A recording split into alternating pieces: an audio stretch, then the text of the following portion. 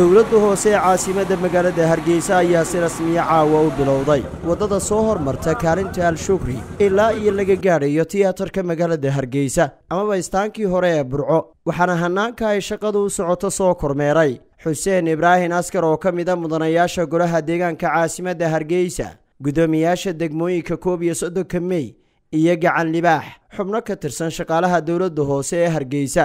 Iyadoo ugu horreyna halkaasi ay ka hadleen mas-uuliyiin kala duwan oo ka tirsan dowladda hoose waxaana ay ka warrameen bilowga waddadani iyo weliba muhiimadda ay u leedahay dadweynaha ku dhaqan xaafadani gacan libaax haatan waa ku dhowaad sagaalkii habeennimo waa waddo kale oo iyaduna ka socota degmadii gacan libaax waddadii beriga ka iminaysay qaybtii kaga bagneed degmada gacan libaax waxaanu caawa daamurkii dhigaynaa ama asfalkii la dhigayaa kaalinta al-shukri ilaa albaabka degmada gacan libaax laga galo alxamdulilah rabbilcaalamiin tiraba waa waddadii labaad ee imika ka socota degmada gacan libaax caawa habeen qiimo badan. Waxaanu ku sugannahay degmada gacan libaax oo aanu hawsheeda ku jirno amaanu wadno dhigitaankii daamirka. Waddada road number tuga ama waddada labaad ee magaalada. Oo aynu ka soo bilownay kantaroolkii halleeya.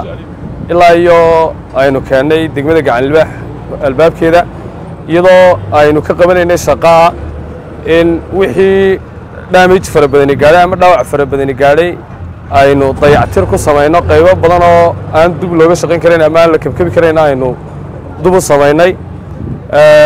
Markaa waxaynu waxaanu wadnaa waxa weeyaan waddooyin tayadooda ay aad u sarayso ilaa saddex afar arrimoodoo inay waddooyinka aanu markaa dhisayna ay tayooyinkooga fiicnaadaan ayaa iyagana qaybka hor waxaan mahadnaqayaa ilaahay baan mahadnaqayaa.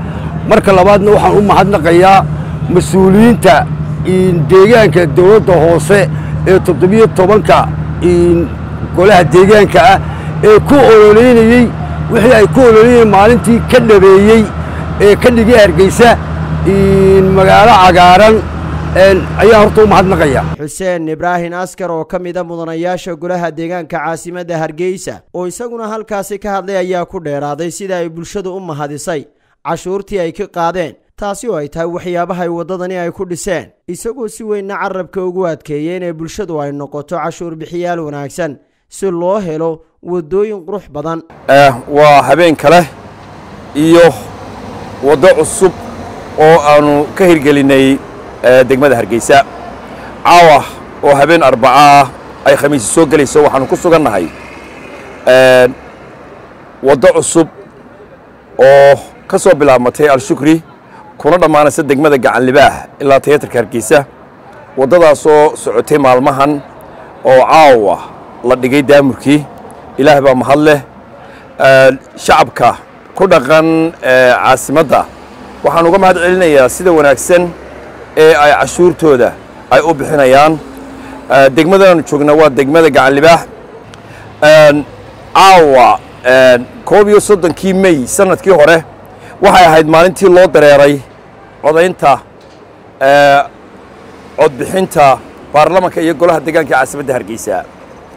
Hal sanno ayaa ka soo wareegey waxaan filayaa shacabkii reer hargeysa ee maalintaa codkooda cadceedda noo taagnaa in ay maanta markay arkaan shaqada aanu u wadno iyo sida aanu ugu shaqaynayno inay odhanayaan codkayagii meel hagaagsan ayuu maray.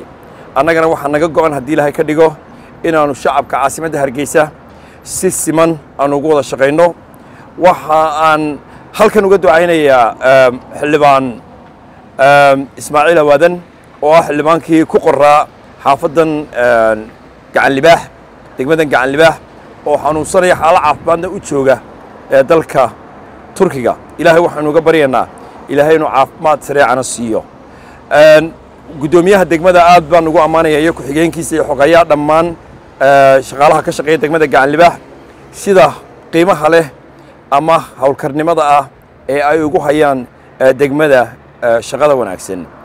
Waxaan kaloo aan u mahad celinayaa dhammaan shacab ku dhaqan ee degmada gacan libaax sida wanaagsan ay cashuurta u bixinayaan degmadani waa degmo aad u ballaadhan waa degmo dakhli wanaagsan. Soo saarta marka la eego dakhliyada ay soo saaraan degmooyinku.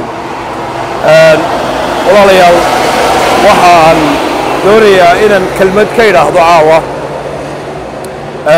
Waxaannu yaro kordhinnay cashuurtii dhulka oo filayo in dadka ay qaarkood dareemeen in badan tahay. Laakiin waxaan idiin sheegayaa si kastoy tahay cashuurtaasi waa cashuur idinka idinku soo noqonaysa waa cashuur gelaysa waddooyinkeenna magaalada hargeysa waa cashuur gelaysa dhammaan baahiyihiinna gaarka ah ee ay uga baahan tihiin dowladda hoose hargeysa. Marka xataa haddii ay idinku badan tahay ama aad dareenteen inay badan tahayba waxaa ogaataan lacagtiinnii in ay wixii halkii loogu tala galay ay gashay oo waddada quruxda badan lee caawaba aa halkasaan inay tahay cashuurtii aad bixiseen. Waxa aan ku soo koobayaa waannu wadaynaa dhammaan degmooyinka caasimadda hargeysa waxqabadkaannu ka wadno. Hadhiya habeenna waannu shaqaynaynaa haddii ilaahay ka dhigo. Shacabka reer hargeysana waxaan ku boorinayaa inay iyaguna nagu kaalmeeyaan inay cashuurta bixiyaan na garab istaagaan. Annaguna aanu shaqada aanu u hayno aanu sii laba laabno. Aad iyo aad baan idinku mahadnaqayaa. Maxamed cabdi qalinle muqbahyaha bulsho hargeysa